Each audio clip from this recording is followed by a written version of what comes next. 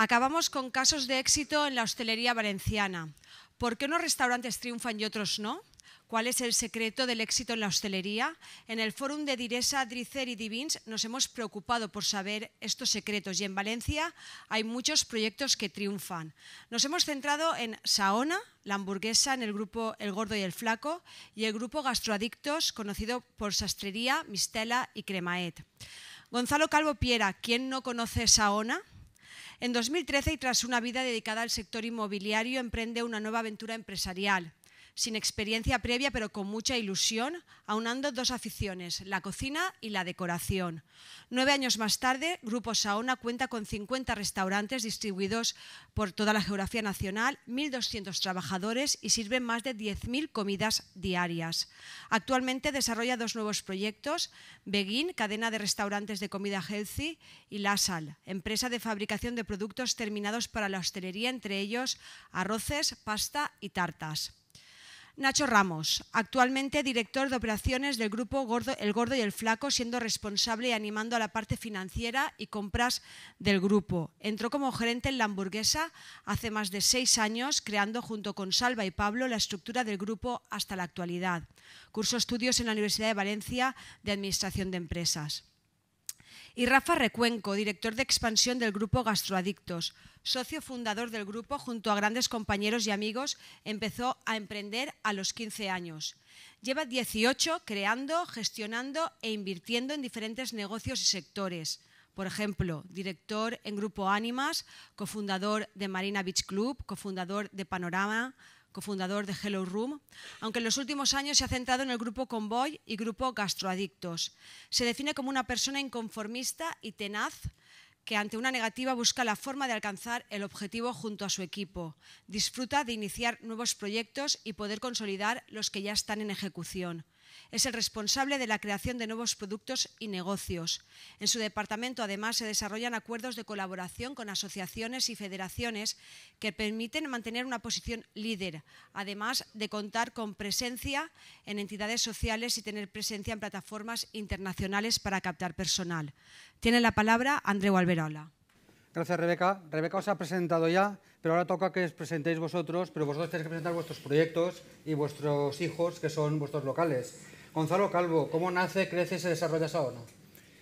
Pues, bueno, Saona eh, nace un poco de la necesidad. Eh, como, como, me ha presentado muy bien, eh, yo vengo del sector inmobiliario, la verdad es que no conocía nada el, tema de restauración y la verdad es que tela donde, donde me metía, la verdad es que no, no sabía lo complicada que realmente es.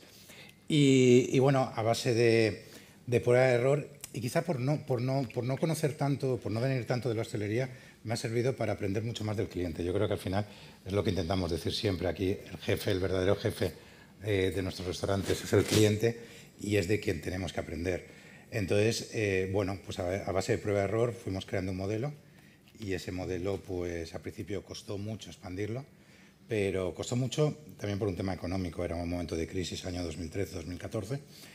Eh, pero a partir de, del año 2015, pues bueno, reinvirtiendo absolutamente todo lo que, lo que íbamos generando, íbamos abriendo otro, abrimos un pequeño local en Javia, chiringuito, gracias a chiringuito, los beneficios pudimos abrir otro, otro local en Valencia y así sucesivamente hasta la actualidad, aunque en la actualidad ya los bancos ya se acercan y ya es más fácil conseguir la financiación. Muy bien, muchas gracias. ¿Cuál es el origen y hacia dónde va el grupo Gastroadictos? Bueno, pues Gastroadictos es un grupo hostelero, empezó hace tres años. Eh, empezamos con un barcito en Torrefiel y eh, cuando empezamos eh, tuvo un relativo éxito, nos animamos a montar la sastrería en el, en el barrio del Cabañal. Y a partir de ahí, pues replicamos hace poquito, le dimos un pequeño giro a lo que era el bar de Mistela, que al ladito eh, Bar Cremaet, en Avenida del Puerto. ¿no? Al final, eh, nosotros nacemos de, la iniciativa de unos, eh, un grupo de amigos jóvenes que nos gustaba mucho el, el, comer, beber bien y disfrutar en las mesas. ¿no? Veíamos un poco lo que se estaba haciendo en cuanto a restauración y veíamos lo que consideramos que nosotros podíamos aportar. Como bien dice Gonzalo, mirando mucho al cliente, ¿no? entendimos o quisimos eh, ver lo que el cliente demandaba y lo que la hostelería estaba ofertando. ¿no? Entendíamos que había una diferencia de bares que se habían quedado como bares de bajo nivel o gastrobares y la gente quería al final unas bravas bien hechas, un morro bien frito, ¿no? con un aceite limpio y, entonces lo que intentamos fue ir a esas cosas como muy básicas, pero bien hechas. ¿no? Y eso es lo que fue nuestra, apuesta, ¿no? el, bar 2.0, el bar venido a la actualidad. Y Nacho Ramos, Grupo El Gordo de Flaco, ¿cuál es vuestra historia y hacia dónde vais? Pues como bien me habéis presentado, soy director de operaciones del grupo El el Flaco. Eh, la historia un poco del grupo de, la hamburguesa es, la historia de dos hermanos, también que, muy jóvenes se, iniciaron en la hostelería, que son Pablo y Salva.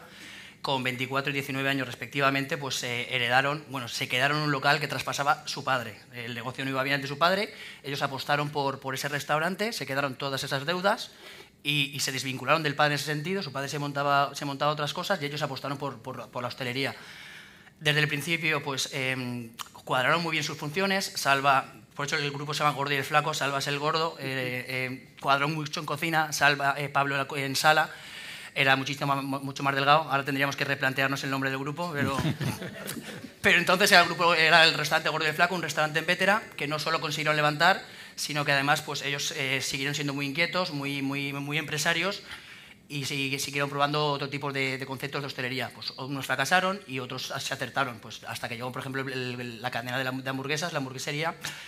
Y entonces, a partir de ahí, eh, ellos ya empezaron a intentar buscar otro tipo de, restaurantes, como también pueden ser los italianos, que tenemos una línea de, restaurantes italianos que se llama Pafuto y Pafutinos, y otro tipo de hostelería también, también de, mercado, como podrían ser pues, Cremaet, Saona, etc. ¿vale? Lo que al final es importante saber un poco de las historias de, estas cosas es que son gente pues, que, va de, cero, que yo les tengo muchísimo aprecio por el tiempo que llevo trabajando y que lo han conseguido un poco por, por ellos mismos. Representáis a tres proyectos de hostelería, tres proyectos que han funcionado, que están funcionando.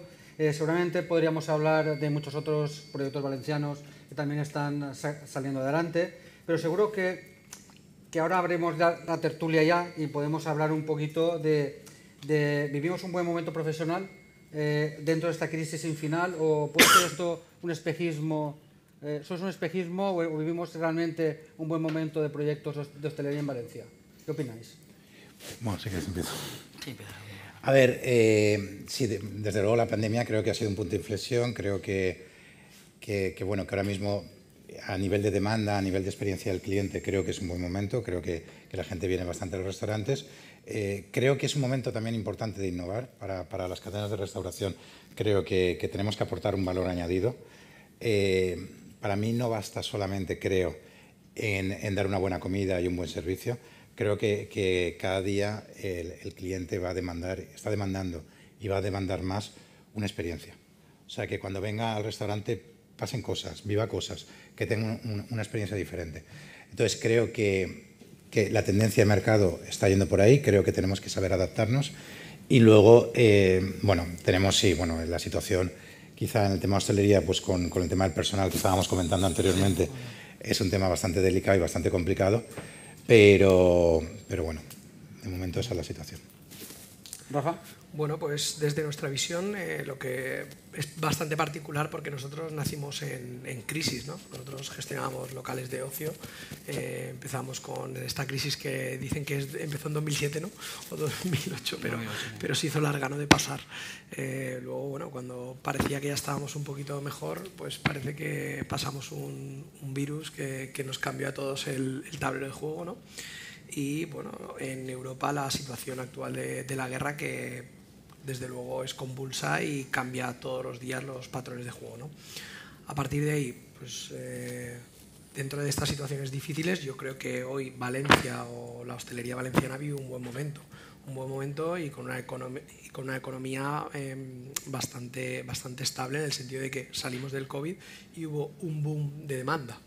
Es decir, atender la demanda fue complicado, incluso por lo que hablábamos de poder tener eh, todo ese personal para poder atenderlo. ¿no? Entonces, eh, yo creo que eso en ese sentido es positivo. Ahora, ¿qué va a venir dentro de un año o dos? Bueno, pues es una situación muy cambiante, que hay muchas alarmas y muchas alertas, eh, pero no hay ningún, todavía no hay ninguna evidencia de lo que va a ocurrir. Desde luego hoy la demanda es, desde mi punto de vista, es altísima. ¿eh? Entonces sí que es verdad que quizás tenemos más demanda, facturamos más, pero ganamos menos, ¿no? Eh, ¿Por qué? Pues porque con la crisis energética o la crisis de las materias primas los precios no paran de subirse y dispararse. Afortunadamente yo siempre hablo con mis socios o compañeros de trabajo y, digo que mientras eh, hay demanda y hay venta, mientras hay facturación hay posibilidades de tener una cuenta de explotación saneada. Es mucho más difícil tener que captar. ¿no? Entonces, eh, para mí, mientras hay facturación hay esperanza, ¿no? hay forma de gestionar. Entonces, este es mi, mi resumen ¿no? de, de la situación actual.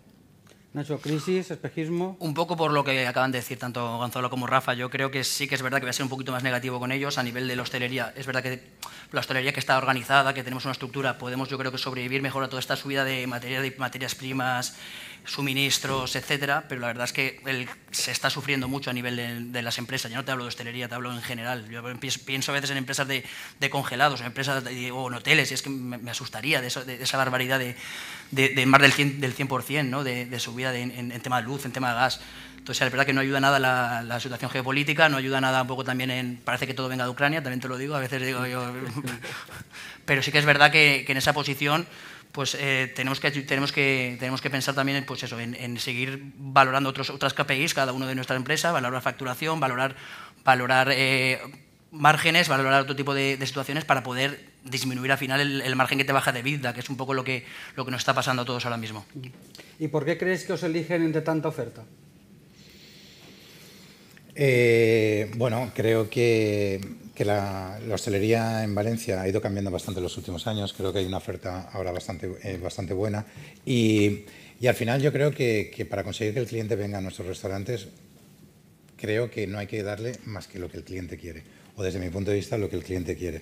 ¿Y qué es lo que el cliente quiere? Pues quiere comer en un sitio bueno, que, esté bien decorado, con una buena comida y un buen servicio, y a un precio razonable. Entonces, eh, final es lo que queremos como cliente y es lo que nosotros, por lo menos desde Grupo Saona, hemos intentado transmitir en nuestros restaurantes. Rafa.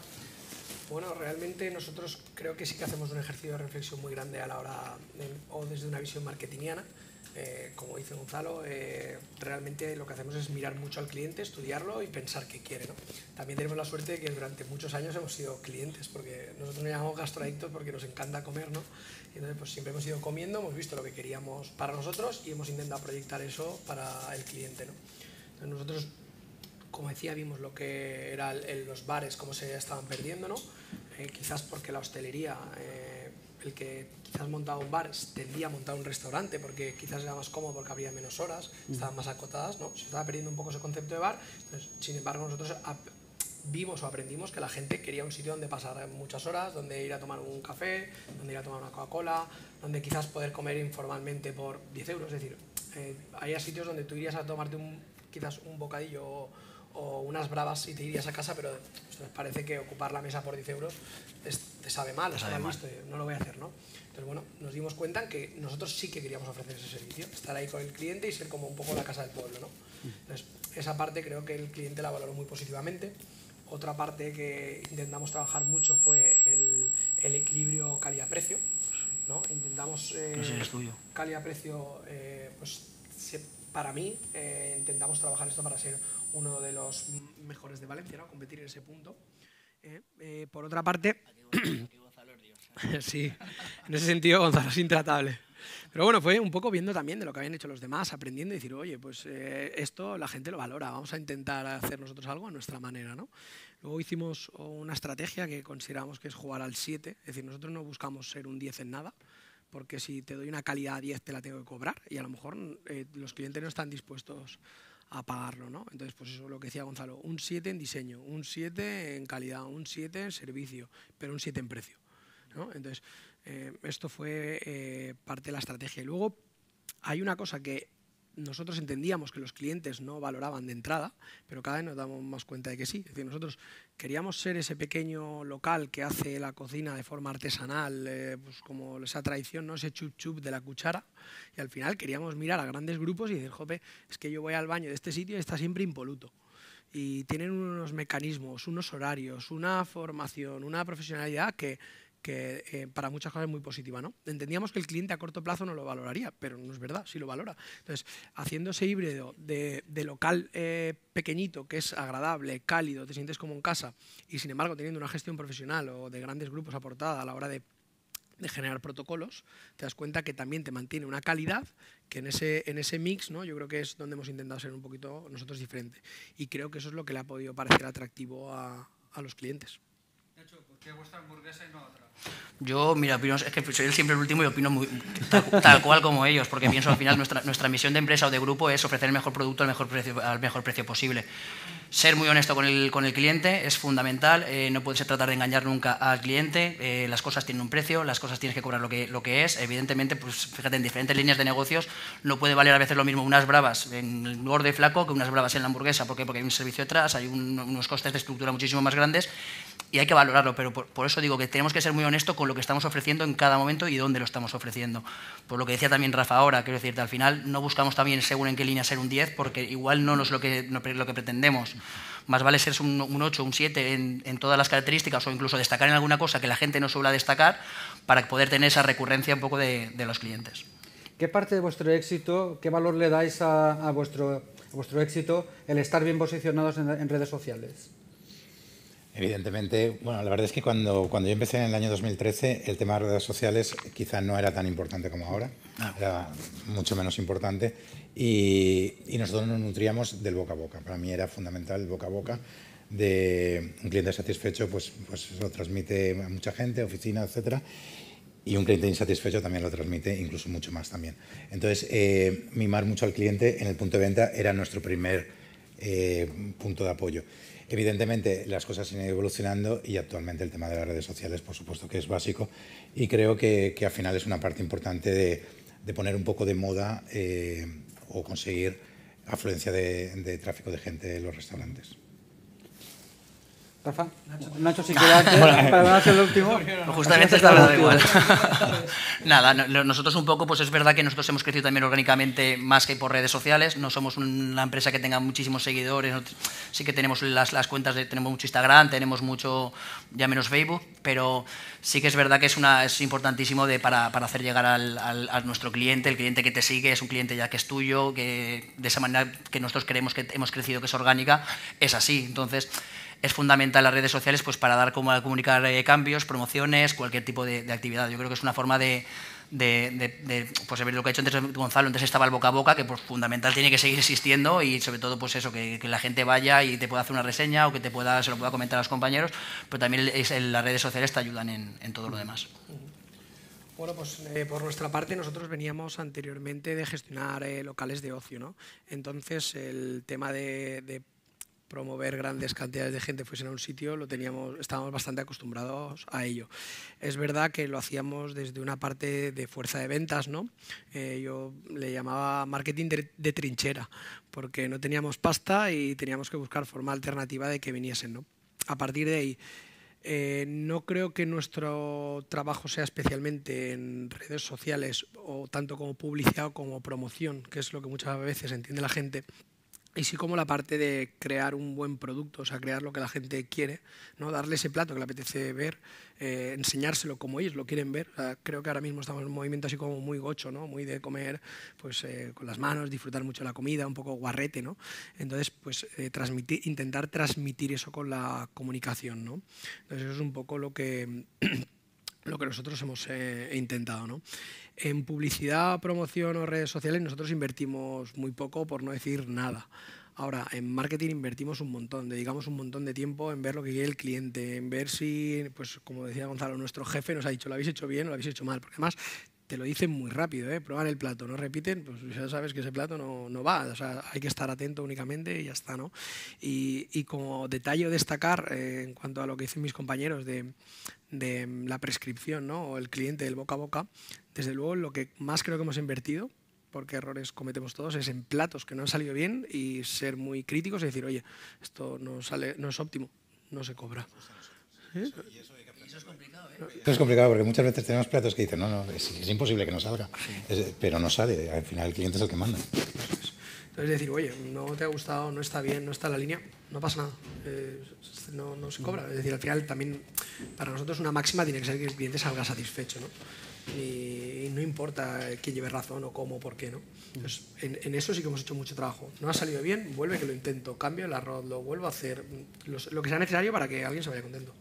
Bueno, estamos entre hosteleros, eh, estamos hablando de casos de éxito, por tanto hay que hablar de aciertos y de errores. Eh, ¿Cuáles son los aciertos y los errores confesables, teniendo en cuenta que se están grabando? Ahora sí que os dejo a vosotros empezar. ahora que hable, aunque, aunque repita, ahora que hable primero Nacho. Pues eh, yo creo que los aciertos al final eh, podríamos deciros alguno también, alguno puntual, que podemos dar algún ejemplo de, lo que consideramos más que aciertos, pues puntos de inflexión dentro de la, de la, empresa, del grupo, que yo creo que nos han ayudado a, a otro nivel pero sobre todo yo creo que el mayor de los aciertos que puede tener cualquier empresa o cualquier grupo es al final seguir tu línea, seguir tu misión, seguir tu visión, tener unos valores de empresa muy fuertes, intentar salirse lo mínimo posible de ello. Como acierto puntual, pues yo puedo tener dos que creo que se han sido muy importantes dentro de lo que es eh, nuestra empresa, que ha sido uno, el momento que fuimos a la digitalización, a la transformación digital en, el punto de poder tener la información al momento, KPIs que tú te las cogías para, para, para poder tomar decisiones ágiles, rápidas, fue un punto de inflexión increíble dentro del grupo y después también el pivotaje que tuvimos también en, pandemia con el tema de, del delivery. Ya veníamos un poco que en la hamburguesa sí que éramos un poco más fuertes con este, con este servicio, pero en Pafuto también fuimos muy ágiles y con, y con el grupo del Gordo del Flaco también empezamos en una, una, nueva línea, como es el delivery el Gordo del Flaco en casa. Y ahí yo creo que fueron los dos éxitos que han, como que nos han marcado un poco el, para, para aumentar un poco el nivel. Bueno, nosotros creo que el, principal elemento diferenciador así con otros bares o restaurantes es que hemos querido ser siempre muy de barrio. ¿no? Nosotros intentamos posicionarnos en los barrios, intentamos nutrirnos de ellos, eh, intentamos eh, pues proyectar esto. ¿no? Esto, entrando ya en una parte un poquito más técnica, lo que nos permite es quizás eh, controlar mucho los costes porque quizás los costes fijos o costes de alquiler son mucho más bajos y eh, pues dárselos al cliente de otra manera. ¿no? Entonces nosotros al final lo que nos permite es quizás estar un poquito más pasados, un punto dos en coste de materia prima, estar pues, otros dos puntos pasados en, personal y ahorrárnoslo ¿no? En, lo que es el, pues, coste fijo. ¿no? Yo creo que esto fue arriesgado, pero fue un éxito. La forma de controlar ese riesgo, pues que nosotros sabíamos dónde invertíamos. Nosotros somos gente obrera, trabajadora de toda la vida, vivimos en Torrefiel de toda la vida y veíamos que era un barrio súper poblado y que a raíz de un poquito antes de la crisis de 2007 se había construido un montón y habían hecho ventas de pisos a 300.000 euros. Y allí vivía todo el mundo. Entonces nosotros entendíamos que quien podía haber comprado un piso a 300.000 euros, pues podía ir a comer todos los días a 20 euros. ¿no? Y sin embargo en el barrio no había nada de oferta. ¿no? Ese yo creo que puede ser uno de nuestros eh, aciertos. En cuanto a errores, bueno, errores podría ser una lista. Sirven para aprender. Yo me los he saltado, ¿eh? ¿has visto? Muy importante los errores, cometerlos, darte cuenta y girar pronto, ¿no? O sea, nosotros hemos girado muchas veces y creo que, que esa forma de girar tan rápido también es parte del éxito, ¿no? Estar viendo continuamente y ver cómo puedes mejorar y volver a girar, volver a girar, volver a girar. Errores, bueno, pues posicionamos el local como el almuerzo, siendo el almuerzo eh, en Valencia por el modelo de pack que hay de bocata, cerveza, eh, café, cacaos y olivas, siendo lo menos rentable de la, historia. ¿no? Pero bueno, uno, ese sería uno de nuestros mayores errores. El siguiente eh, sería vender por debajo del, precio al que podemos vender. ¿no? Nacho lo ha dicho antes muy bien, ¿no? dice, las cosas se tienen que vender al precio que se tienen que vender. Correcto, yo creo que tenemos que venderlo al cliente al precio que podamos, nos permita seguir operando, porque si no, eh, no podemos seguir operando. ¿no? Entonces el cliente hay que entenderlo, ponerse en su camisa y decir, oye, no voy a vender más caro de lo que podría, porque al final estoy castigando al cliente, ni voy a vender más barato de lo que debería, porque si no, tengo que cerrar y no voy a poder dar esa oferta. ¿no? Pero bueno, esos han sido fallos como esos, miles. Hacer cartas súper extensas que luego no se pueden gestionar. Eh, con unas eh, eficiencias bajísimas, tanto en producción como en mermas. Entonces, bueno, errores yo creo que se cometen un montón. Eh, adaptar estructuras, tener estructuras pequeñas para jugar como grande y o al revés, jugar con, con estructuras muy grandes para ser pequeño. Bueno, la clave para mí es todo el rato estar muy encima de tu negocio. Es el principal acierto que nos caracteriza, ¿no? Estar muy metidos, ver cada segundo, analizar e ir cambiando. Eso sería. Gonzalo. Eh, yo creo que para nosotros en Sauna uno de los mayores aciertos que hemos podido hacer es el tema eh, de crear un precio cerrado. Creo que, que ese fue un poco un antes y un después. eh, porque al final, bueno, pues, pues conseguíamos lo que comentaba Rafa, es decir, en vez de una carta muy extensa, que eso complica muchísimo las operaciones en cocina, genera merma, genera muchísimas complicaciones, intentar reducir los platos, intentando dar suficiente variedad para que sea para todos los gustos, pero eh, que operativamente la cocina sea muy sencillo todo lo que es el servicio, que genere la mínima merma posible y todo eso traducirlo en el cliente, en el precio al final del cliente. Entonces nos ha permitido estar con un precio, entendemos, razonable, eh, digamos, por los beneficios que nos ocasiona todo esto. Quizá es uno de los aciertos o algo de, que, ha influido muchísimo en Saona. Y desaciertos, pues muchísimos, como decíais, muchísimos. La verdad es que eh, hemos ido aprendiendo.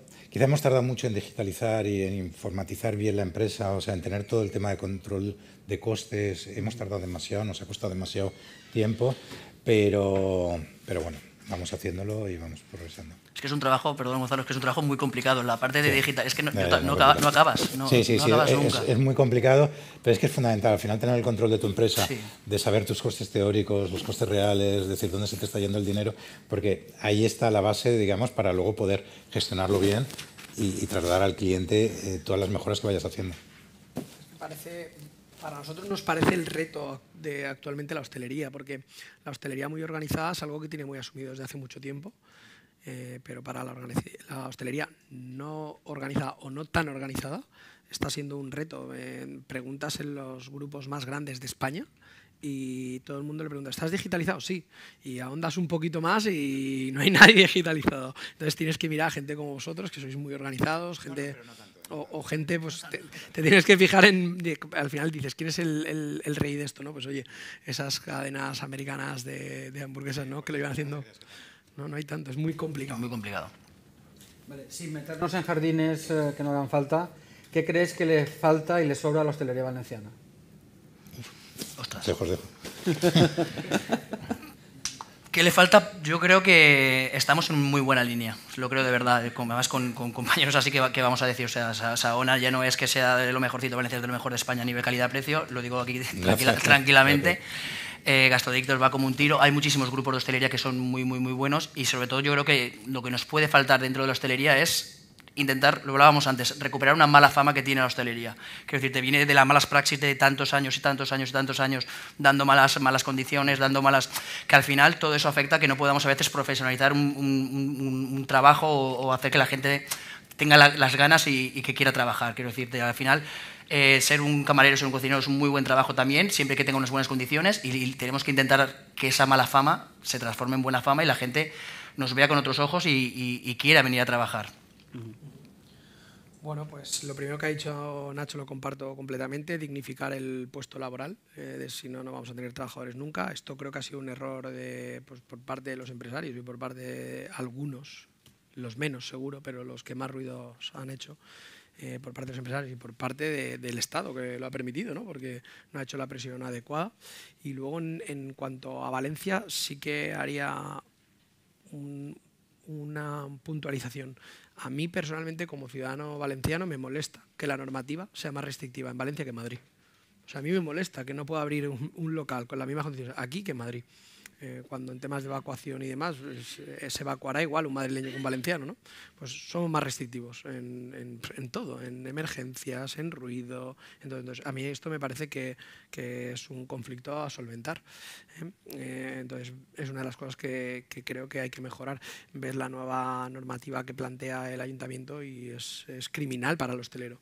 Eh, a pesar de que en otras muchas cosas yo considero que lo están fomentando, lo están haciendo bien. Creo que en esa parte, las partes técnicas, a veces se dejan guiar mucho por, por los técnicos y no ven la otra parte, ¿no?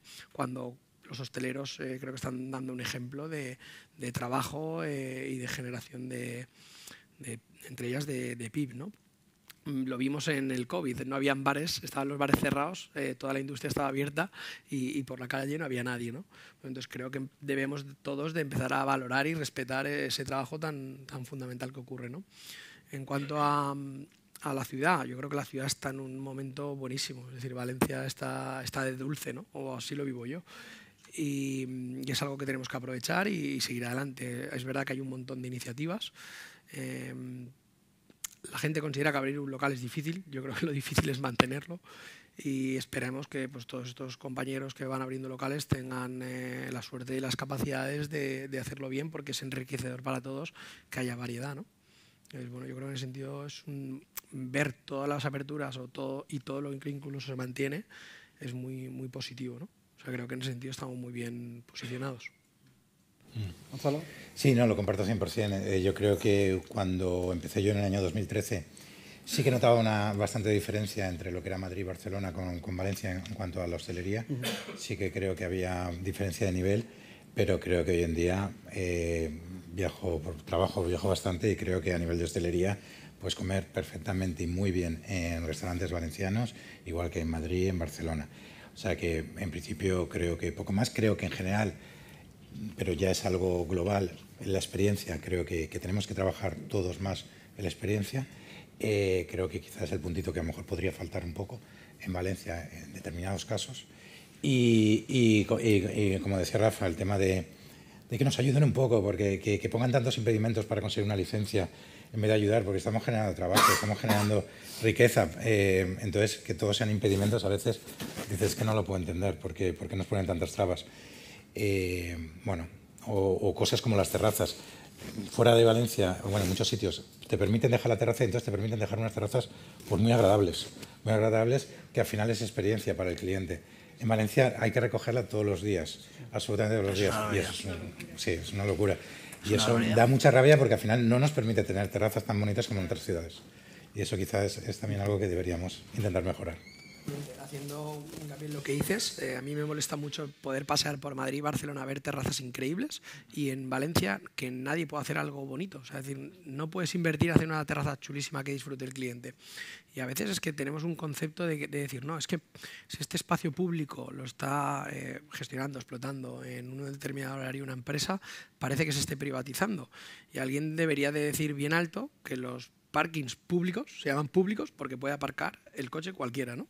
Pagando, por supuesto, pero puede aparcarlo, ¿no? Pues las terrazas son lo mismo, es decir, al final estás dándole una terraza, un servicio a un cliente, a un ciudadano, ¿no? Quizás es más necesario eh, en, en, esos barrios, ¿no? Porque es una cosa que nosotros nos encontramos en el barrio de Torrefiel, Quizás en Torrefiel, que la gente no tiene grandes chalets, ni grandes jardines, ni grandes áticos, es más importante poder tener una terraza bonita donde tomarte una Coca-Cola a dos euros y pasar un momento distendido. ¿no? Entonces, ¿Eso es privatizar? Pues no lo sé, creo que es una, reflexión a hacer, desde luego. Estamos en un evento eh, organizado por un grupo de, distribución, Diresa Drizzer y Divins. ¿Qué valoráis en vuestros proveedores? ¿Qué es lo que os gusta de tener un proveedor fiable? Bueno, pues para nosotros, bueno, en primer lugar, agradecido de que nos hayáis invitado, de que hayáis pensado en nosotros para, para esta charla. Y, y, bueno, en cuanto a los proveedores, pues ¿qué buscamos? Lo primero, pues que sean proveedores activos, que, que aporten tanto al cliente como a la sociedad, ¿no? Que al final eh, te den un buen servicio, que consigan el producto cuando tú lo necesitas.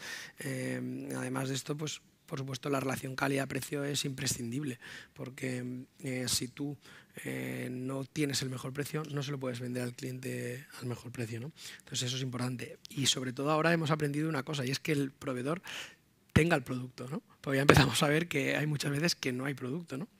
Eh, con el COVID aprendimos esto. ¿no? Entonces, para nosotros el proveedor forma parte de nuestra empresa y nos tiene que ayudar en el crecimiento. Eh, estratégicamente, Grupo Gastroictos tiene tres locales y estamos construyendo tres más, que se abrirán con una secuencia más o menos de unos seis meses entre unos y otros.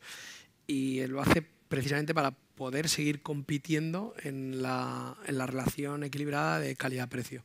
Entonces, para nosotros es muy importante para poder ofrecerle esto al cliente, que nuestros compañeros de viaje, que son prácticamente socios, porque vamos de la mano en todo, pues nos den ese, ese apoyo. ¿no? Entonces, eh, fundamental esto. No, yo apuntar lo, que comentaba Rafa, pero básicamente pues lo que buscamos de nuestros proveedores eh, pues ese es el, servicio. O sea, el servicio y que nos faciliten un poco la vida, porque ya tenemos bastante lío en, en los restaurantes diariamente, como para encima estar buscando, ir a comprar, etcétera eh, cada uno de los productos. Entonces, bueno, pues esa facilidad que nos brindan para mí quizás es lo más importante. Para nosotros, pues un punto también de inflexión de la, la empresa fue en el momento que también entramos en, el proyecto Lanzadera, porque nos, dieron unas pinceladas que nosotros hemos estado aprovechando todos estos años. Y una fue, por ejemplo, pues cuando hablamos de proveedores, del dar, pedir, exigir. Entonces nosotros siempre jugamos con, esas palabras, dar, pedir, exigir. ¿Qué les damos? Siempre decimos lo mismo. Nosotros le vamos a dar eh, acuerdos a largo plazo, le vamos a dar transparencia, le vamos a dar estabilidad y sobre todo le vamos a dar una confianza de cara a todo el grupo. ¿Qué les pedimos? Pues siempre les vamos a pedir máximos, descuentos, mejores precios. Evidentemente que no suene mal, pero siempre les decimos también lo mismo, aquí todo el mundo tiene que ganar dinero, ellos tienen que ganar dinero, tienen que estar cómodos con lo que nos ofrezcan, pero evidentemente buscamos un el mejor precio posible, eso es una, de las cosas que buscamos siempre. ¿Qué les podemos pedir también siempre? Pues lo, lo mismo que estamos hablando, pues que seguimos hablando de confianza, transparencia, servicio que ha dicho, que ha dicho Gonzalo. Al final siempre tenemos que jugar con esas palabras y cuando uno de los dos, siempre decimos uno de los falla, está el exigir. Quiero decirte, cuando también un proveedor te falla, tienes que exigirle, como si tú le fallas al proveedor, te tiene que exigir. Esas tres palabras son un poco también van dentro de la línea del grupo para poder tener una buena comunicación y una transparencia con, con el proveedor. Y si os parece bien, vamos a abrir un turno de preguntas, ya que supongo que todos los temas nos hemos tratado. Si queréis preguntar alguna cosa, es vuestro turno. ¿Ninguna inquietud, ninguna cuestión? ¿Nada? Por favor. Bones per a tots.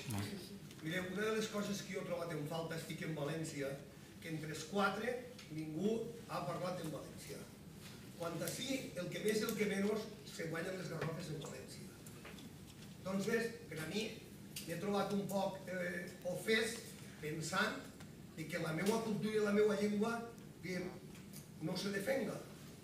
Estava parlant vostè de que en Madrid, en Barcelona, tal, que tenen eh, diferències a l'hora de, de pagos i coses d'estes. Jo és el que dic, nosaltres som un tall, per, per no haver gastat el valencià, per exemple, som perquè som un tall de mínim I al ser un tall de mínim tinguem el resultat que tenim. Perquè si d'alguna forma creguérem en, en el nostre poble, que és València, aniríem a fer a falta i parlaríem, demanaríem i estaríem ahir al pie del canyó perquè els nostres governants eh, mos feren cas i feren igual que les altres eh, capitals. No ho sé. Aquesta és la meva opinió sobre el respecte. M'ha agradat molt de veure que hi ha gent jove que està peleant, luchant i creant coses noves. Però, ja us torno a repetir, si anem com anem, perdrem la nostra identitat. I per a mi és una ofensa al meu poble valencià eh, que no se pot dir visca València i consumir productes d'allà al pati del Bordell. Que hay que intentar consumir productes a la cara valenciana perquè l'economia reinvertisca en el nostre voltant. Ahí entraria la consulta, per exemple, de quilòmetre zero? Home, fa falta que li ho expliqui, jo crec que no. Jo estic produint metro zero, no quilòmetre zero. Per tant, de veres vos ho dic, me trobe ofès estar en reunions on tots estem menjant dels valencians. Tots els negocis i tot estem menjant dels valencians. I quan un poble perd la seva cultura i la seva llengua, ha perdut la seva identitat. I això no vull dir que parleu el castellà, no, home, per favor, el castellà és la llengua nacional. Inglès, francès, a mi me toca estar parlant en anglès i en francès, menys alemà, me toca parlar de tot, perquè estic parlant amb gent que ve de fora. I quan tu veies, tens que estar al costat del client i donar-li aquest calor i aquest carinyo que li fa falta. Si pot ser parlar en la seva llengua o tratar-li, no sé, en aquestes eh, aquesta diferència que vostè estava dient, que m'agrada molt, que els locals se llancen per la diferència dels demés, perquè a los n'hi han moltíssims. Qui són els que triomfen? Els que són diferents. Vosaltres mateixa heu estat dient que cada un se diferencia en una sèrie de, de coses en la qual per ahir no és fàcil trobar, però això esteu on esteu. Res més. ¿Alguna pregunta més? Per favor.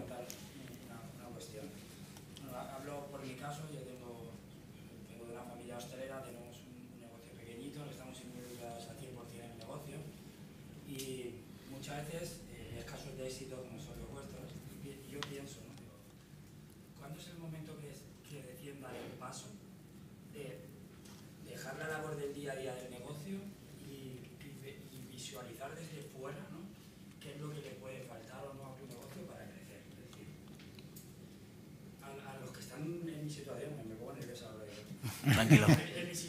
Yo estaba muy nervioso, tranquilo. ¿Qué consejo le daríais para cambiar la gestión del negocio y poder crecer en ese sentido? Yo no sé si aquí alguno está en la misma situación, pero creemos que lo que hacemos eh, lo hacemos bien, pero estamos tan involucrados en el día a día, en el día a día, que no, no, no percibimos cosas que quizás eh, hagan falta. ¿Cómo se hace para crecer?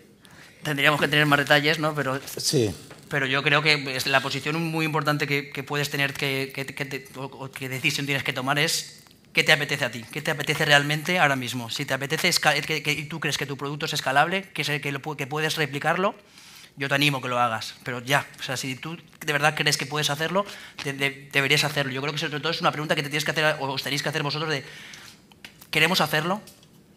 Muchas veces no es fácil, ¿no? Porque No es fácil, pero quiero hacerlo, tengo que salir yo de- del día a día del negocio.